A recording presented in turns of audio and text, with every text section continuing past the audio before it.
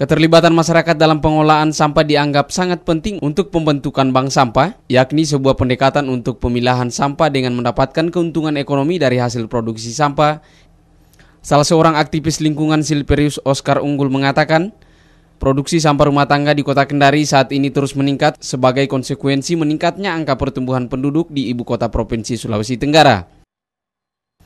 Dalam pengolahan sampah ini sangat dibutuhkan keterpaduan dalam pengolahan sampah ini sangat dibutuhkan keterpaduan dalam penanganan sampah yang lebih ekonomis dan bisa menjadi solusi hijau dalam perkembangan kota Kendari di masa-masa yang akan datang.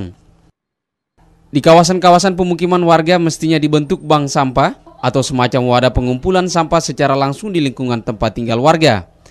Pada pendekatan ini pengolahan sampah melibatkan pihak industri daur ulang maupun usaha pembuatan pupuk organik yang prosesnya dimulai dari rumah tangga yang akan memilah jenis sampah organik dan sampah anorganik untuk ditampung di bank sampah. Proses pembentukan bank sampah ini sudah dilakukan di beberapa kota besar dan telah menjadi sebuah solusi hijau dalam pengolahan sampah produksi rumah tangga yang terus Bersihnya meningkat. lingkungan hanya karena mengejar piala-piala itu.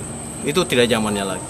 Mari kita ciptakan sebuah model uh, lingkungan ini menjadi bersih karena masyarakat terlibat aktif dalamnya. Nah, sekali lagi sama seperti yang tadi, masyarakat hanya bisa terlibat aktif kalau mereka memperoleh merasakan nilai manfaatnya dari aktivitas itu. Oleh karena itu, Gia Unggul akan melakukan yang namanya bank sampah. Jadi kita minta masyarakat dari uh, rumah untuk memisahkan sampah-sampah mereka seperti yang biasa dilakukan orang dulu, tapi yang dulu kan tidak ada insentifnya. Oleh karena itu kemudian kita tempatkan satu tempat yang kita sebut bank sampah nanti. Ibu-ibu bisa datang ke situ dengan membawa sampahnya, kemudian di situ akan dilihat. Mungkin pemulung kita kita kerjasama. Ibu Ani misalnya sampahnya berapa gram plastik, berapa gram kaleng, berapa gram tiap hari dia storkan itu. Di akhir bulan kita akan jumlahkan berapa plastik yang Ibu Ani kumpulkan, berapa kaleng, berapa botol, berapa apa dan itu akan dibayar. Agustinus Eko, kantor berita Suara Kendari.